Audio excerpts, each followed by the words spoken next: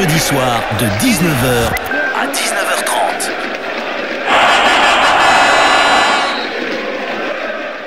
« 100% CO. Tous les jeudis soirs de 19h à 19h30. Allez, bonsoir à tous, bienvenue sur 100%, nouvel épisode de 100% CO, jeudi 26 décembre, ça y est, Noël est passé, euh, j'imagine que vous avez la panse bien remplie de dinde, de champagne, de chapon, de marron, et bien vous allez pouvoir vous détendre et vous reposer en écoutant cette émission avec nos deux invités, Dany Kotze, salut Dany. Salut. Et Marc Claire avec nous, salut Marc. Bonsoir. Les piliers du Castre Olympique qui viennent passer un petit moment euh, avec nous. Ils sont en pleine phase de reprise après de longues blessures. On va en parler, bien évidemment. Alors, je vous le dis hein, clairement, c'est une émission qui a été enregistrée il y a quelques jours parce que ben, c'est les, vacances, les fêtes de Noël, etc. Donc, au moment où on enregistre cette émission, on ne connaît pas le résultat du, du match face à Lyon. Donc, on en a profité. Euh, On ne parle pas de rugby presque ce soir. On parle pas de sport, c'est euh, 100% CO avec Daniel Codze et Marc Claire. C'est radioscopie presque. On va, Sans gastronomie. 100% gastronomie. Et oui, puisqu'il y a le 31 qui se, qui se profile, donc on fera les, les recettes de, de Tonton Marc et de Papy Dany aussi. Voilà, on va, on va essayer de, de faire tout ça.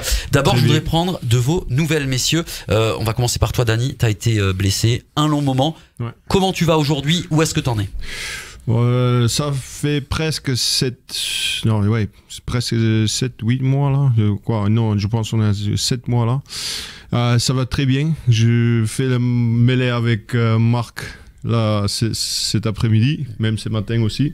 On a très bien travaillé. Euh, Bonne sensation, euh, fait la course le plaquage et tout. Du coup, franchement, c'est bonne sensation, sorti un peu dans le bout quand il pleut et tout. Du coup, moi, je suis très content euh, d'abord. Après, euh, il y a encore un petit boulot à faire euh, par rapport au physique. C'est quand même après 6 mois, 7 mois d'arrêt, c'est quand même, oui, on est encore dans le souffle quoi. Ouais. Mais t'es en phase de reprise avancée quand même. hein, Ouais, voilà, ouais, ça, c'est vraiment avancé là. On a, je fais beaucoup, beaucoup de rééducation à Cabreton avec le club, même en Afrique du Sud. Et euh, là, c'est vraiment le dernier petit bout avant d'attaquer le, le vrai, quoi. Du coup, euh, c'est vraiment euh, la fin de chemin. Je suis, moi, je me considère plus blessé. C'est plutôt ré, réathlé maintenant. Du coup, je me sentais comme un athlète maintenant.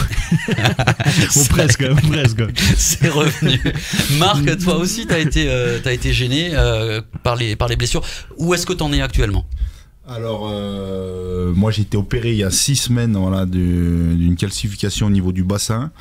Alors, euh, j'avais pas une blessure aussi grave que Dani, mais elle a pris un peu de temps parce qu'on a eu du mal à déceler vraiment euh, mon souci. Alors voilà, entre le temps de trouver le problème et l'opération, c'est vrai que ça a duré un peu. Et là, au bout de six semaines après l'opération, bah voilà, je suis en phase de reprise aussi. Alors je suis un peu derrière Dany, mais on a, voilà, on a pu faire quelques mêlées aujourd'hui pour, pour retrouver des sensations. C'était les premières C'était euh, bon, les premières. ouais, je moment où on enregistre cette c'était la- émission, d'accord. C'était une des premières fois qu'on mettait euh, les crampons Ouais, euh, pour vrai. sortir dehors. D'accord. Et alors, c'était co- comme des gamins, quoi, les Comme deux. des Ah, enfants. Voilà. et voilà, et moi il va me manquer encore euh, quelques semaines pour euh, voilà parce qu'il y a tout le côté euh, voilà cardio à retrouver. La sensation sur le terrain, puis s'entraîner avec euh, avec l'équipe.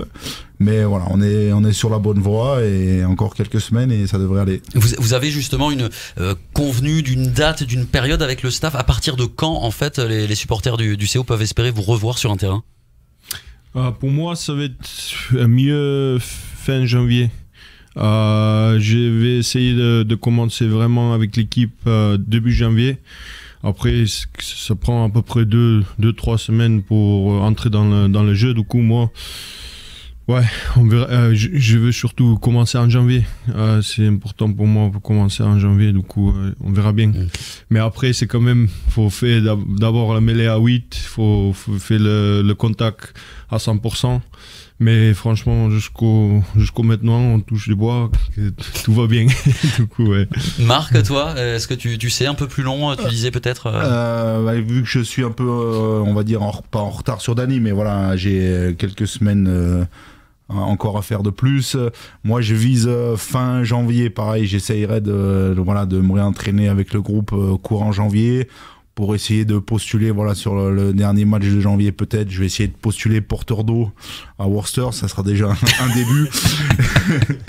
Et- Parce que tu peux pas faire porteur, tu peux pas postuler Ah bah, si porteur pas bonne t'es pas peux complètement. bah, euh, il faut être, euh, il faut être à Faut gagner ta 100%. place, hein, Il faut être à 100%, ça commence par là.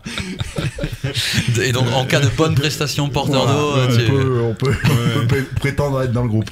il y a des porteurs d'eau titulaires dans le, dans le groupe. tu sais. Alors justement là je suis content parce que de, de, de- déjà on est content de vous recevoir forcément. Et puis euh, surtout c'est bien de, de vous voir aussi euh, voilà euh, souriant content on sent que voilà qu'il y a un soulagement de, de, de revenir. Le moral pendant cette longue période alors toi euh, en- encore plus toi Dani parce que toi ça a été plusieurs semaines Marc. Toi ça a été plusieurs mois on le disait. Euh, comment ça a été? Est-ce que tu as eu des moments d'abattement ou est-ce qu'au contraire tu es resté bien droit bien bien concentré il n'y a pas eu trop de moments compliqués? Comment ça s'est passé?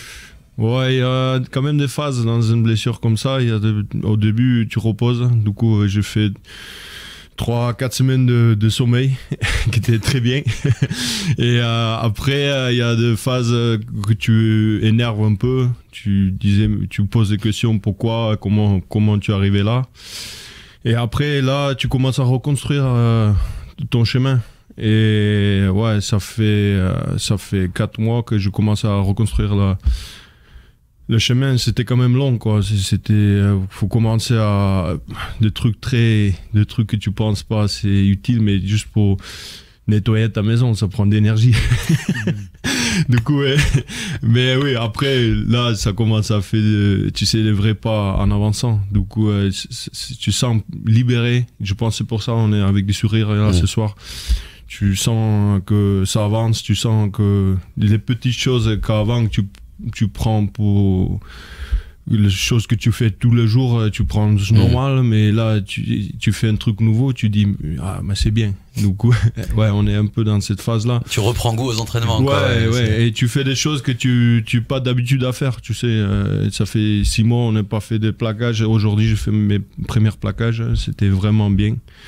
Et euh, tu, tu, tu dis, ah, mais c'est c'est quand même bien, ça me manque. Avec un petit break, tu disais en Afrique du Sud aussi, ça- Oui, en, j'ai- en famille pour se ressourcer. Ouais, euh, ouais, ouais. J'étais, euh, je, j'ai parti à la ferme. Et la semaine, j'ai travaillé à Bloemfontein. C'est euh, un peu la ville où j'ai commencé avec le rugby pro, à- à- vers les Chitas. Du coup, j'ai fait la, la semaine à Bloemfontein euh, pour faire le Riduc. Et après, la- le week-end, j'ai parti à la ferme. Du coup, on a fait deux mois comme ça. C'était beaucoup la route, mais finalement, ça m'a fait beaucoup de bien. Et euh, ouais, c'était vraiment bien à voir la famille et tout. Toi, Marc, sur euh, ta période de blessure, comment ça s'est passé? T'as pas eu, hein, voilà, c'est c'est, euh, huit mois quasiment à, à gérer, mais quand même, hein, six bonnes semaines, un peu plus, ça, euh, ouais, ça pique aussi. Comment t'as géré ça? Oui, disons que euh, moi, j'ai eu le souci, c'est que quand on a fait la reprise en juillet, voilà, j'avais ce problème euh, au bassin qui m'empêchait euh, de courir, euh, donc c'était un peu compliqué. On a mis du temps à trouver. Alors on, a fait une semaine d'entraînement, on en a fait, on trouvait pas pourquoi j'avais mal au dos et tout ça. Alors c'était un peu compliqué parce qu'on essayait de forcer et vraiment ça passait pas. Alors forcément on se pose des questions jusqu'à voilà trouver que qu'il y avait ce pont osseux dans le bassin et qui c'était normal que je puisse pas finalement forcer. Donc ça c'était euh, à partir de ce moment-là, c'était un soulagement de trouver ce qui se passait et de pouvoir le traiter. Donc euh, il y a eu cette période un peu longue là de la préparation physique euh, d'été où tu peux pas suivre l'équipe et tu comprends pas forcément pourquoi. Et voilà, une fois qu'après on a trouvé le bon diagnostic et voilà que tout s'est mis en route, ça a été plus facile. Vous, avez euh, su rester pendant vos périodes d'éloignement euh, impliqué, on va dire, dans le dans le groupe, euh, où il y a des moments où forcément c'est plus compliqué, où vous, appelez les types après les matchs, vous débriefez, vous, où on prend même sans le vouloir toujours, mais on prend inévitablement un petit peu de recul. Comment ça s'est passé ça? Ouais, pour moi, c'était un peu. j'ai eu un peu la chance parce que je voulais partir un peu plus tôt en Afrique du Sud. Mais euh, finalement, le chirurgien m'a dit que c'est pas possible. Il faut rester deux mois euh, avant de prendre l'avion euh, par rapport aux risques, risques de cailloux euh, dans le sang. Du coup, euh, j'ai resté pour la première partie de la saison, le premier mois euh, avec l'équipe, qui était bien parce que comme ça, j'ai raconté le, le nouveau staff, le, le, le groupe, que les gens qui arrivaient et tout. Et euh, j'ai vu, vu un peu poser le, ils sont posé le cadre dans ces trois semaines-là. Avant, ils sont partis à Sainte-Larie. Je- euh, j'ai parti la même semaine en Afrique du Sud. Du coup, là, j'étais encore un peu impliqué avec l'équipe et tout. Et après, quand je partais en Afrique du Sud, c'était quand même à l'âge complètement coupé. Du coup, je pensais d'une façon que c'était bien à cette époque-là que je coupais complètement. Je, j'ai focalisé vraiment sur moi. Et euh, après, quand je retourne, il y a déjà deux mois, je pense. euh, là, je commence à en- entrer un peu plus. Vraiment, là, cette semaine, c'est la première fois on commence à, je commence à regarder les touches, les combinaisons et tout, voir comment ça marche. Euh, du coup, oui, maintenant que c'est un peu plus, plus dedans, c'est prêt ça, à décoller. Quoi. ça revient. Marc, toi aussi, t'es resté euh, toujours. euh, oui, toi, en plus, t'es comme il a Ouais, fallu je, re- trouver. mais- je suis resté voilà relativement en contact avec l'équipe, mais forcément il y a, il y a de euh, il y a de l'éloignement, même si on essaye de de coller au maximum, euh, forcément de pas partager les entraînements, de pas partager les matchs, euh, pas partager les déplacements. Mm. Il y a, il y a forcément un écart qui se fait. Après, il est plus, plus ou moins grand suivant les, les, les situations. Mais, mais voilà, on essaye de, coller au maximum et, de pas, de pas justement décrocher de trop. 100% CO, Marc Claire, Danny Kotzeux avec nous euh, dans cette émission spéciale Noël, hein, émission du, du 26 qu'on a enregistrée il y a quelques jours. C'est pour ça, vous inquiétez pas si euh, je repose pas de questions sur le match de Lyon ou le match à venir à Clermont, parce que pour l'instant on sait pas. Voilà, on enregistre avant, donc c'est tout à fait normal. Euh, la question que je pose à, tous vos, copains qui, qui viennent, vous en êtes où vous de vos situations contractuelles? C'est, quoi C'est la fin de la saison? Vous avez encore de- derrière euh, Moi, je Mar- suis- Danny, pardon, vas-y. Ouais, pardon, vas-y. On est pareil. Alors c'est, ça finit quand? bateau, Voilà. bateau de 2020. D'accord, 2020. Ok, donc vous avez encore une saison à l'issue de. non, non, ah mais non, non, mais non, non, t'es ouais, 2020, c'est- d'accord. Oui, oui, ok. Donc On vous est- êtes en, en fin de contrat à la fin de cette saison. Ouais. Ok. Et euh, du coup, euh, c'est c'est un peu tôt peut-être dans la saison pour commencer à. Ça se gère avec, les agents, j'imagine au début. euh, comment? Ouais, franchement, jusqu'au maintenant, j'ai pas parlé avec, euh, avec mon agent euh, parce que c'est c'est un peu clair, quoi. faut d'abord gérer le, le, le, fait de blessure, le ré, réatteler et tout. Et je pense euh, tout le monde attend pour ce moment de entrer sur le terrain. Euh, pour moi, il y a pas. C'est encore pas dans cette phase-là. D'abord, fini ce qu'on commençait il y a 7 mois. Et après, euh, après on, on verra bien qu'est-ce qui ça va passer à la fin de saison. Ouais. Marc, toi, tu aimes. Déjà, est-ce que t'aimerais rester? Voilà. Ouais, non, Ah je veux me barrer, j'en ai marre. Non, avec Dany, on est dans le même cas de figure. On est tous les deux euh, voilà, en fin de contrat au mois de juin.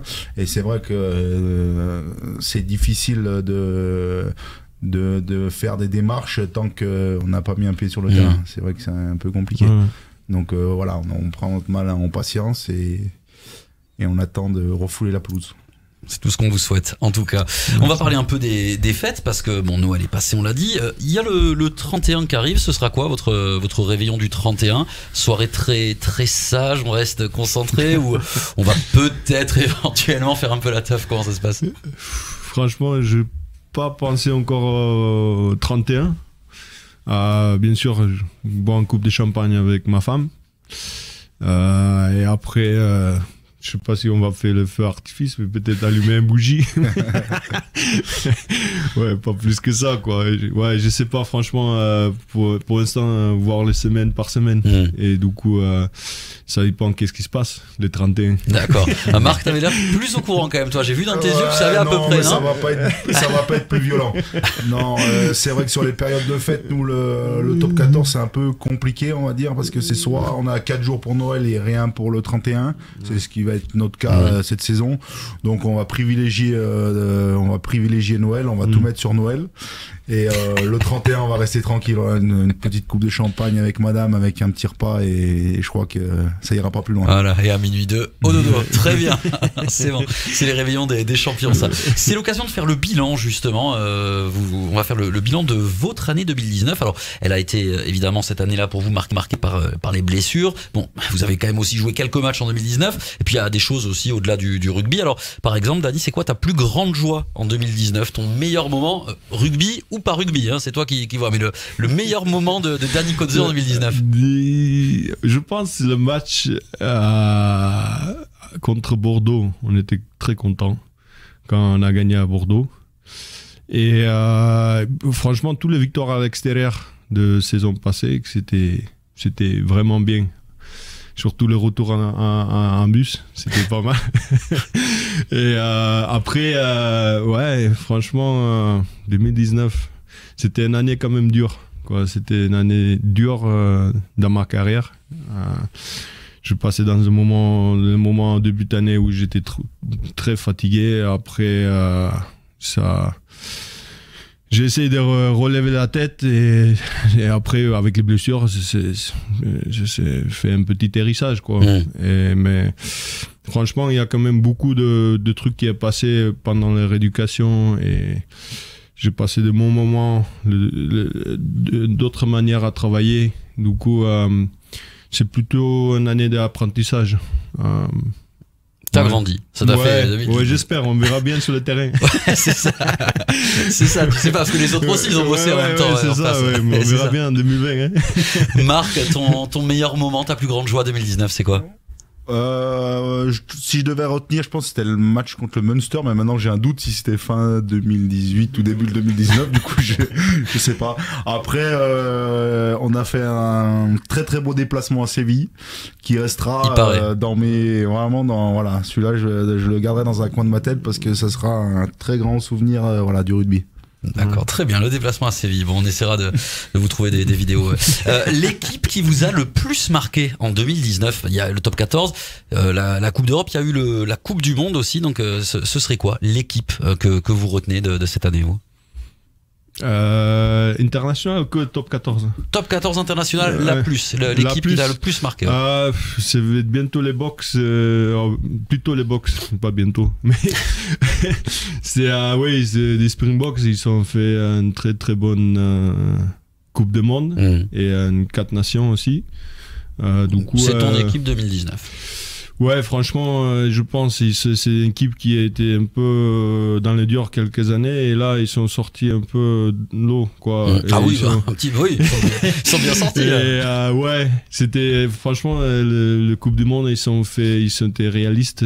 Euh, une équipe, euh, qui une équipe qui était bien bossée quoi, on va dire ça. Marc, ton équipe 2019, toi? Ouais, mais je mettrais une petite étoile pour euh, les Japonais qui ont, qui ont été euh, vaillants euh, Ouais.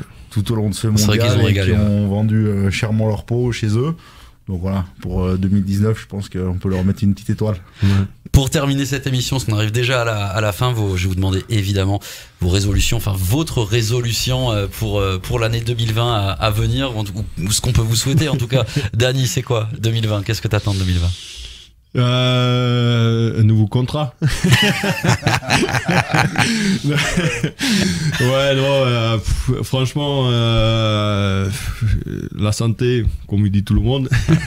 Et après, ouais, franchement, le rugby, j'espère, avec les CO, on va atteindre quelques objectifs qu'on a mis ensemble. Et, et oui, allez les CO. Marc, ta bonne résolution pour 2020 Voilà, ben, comme a dit Dani, euh, la santé, ben, c'est sûr que voilà, pour nous, euh, je pense que pour 2020, retrouver les terrains, ça sera déjà une belle, euh, une belle chose et voilà, et juste euh, bien profiter de voilà des moments du rugby qui nous restent parce que justement, quand on, je pense, euh, comme on s'est blessés tous les deux, on se rend compte qu'on est aussi plus vers la fin qu'au début. Donc, euh, profiter de, Oh, nos dernières années. Parce que, Oh la euh, claque non, voilà, euh, profiter Non, de nos vrai. dernières années et parce que ça passe vite. ça se passe très vite. Dani Kodze, Marc Claire, les piliers du CO avec nous dans cette émission. Merci beaucoup messieurs d'être d'être venus nous voir. Je vous laisse parce que je crois qu'au moment où on enregistre, il y a une petite soirée partenaire où vous devez vous, vous rendre. C'est très gentil d'avoir fait un, un crochet par nos studios. 100% CO, on se retrouve dans 15 jours, hein, pas d'émission la semaine prochaine puisque euh, toute l'équipe sera en vacances. On se retrouve donc, ce sera aux alentours du jeudi. 100% CO. Tous les jeudis soirs de 19h à 19h30.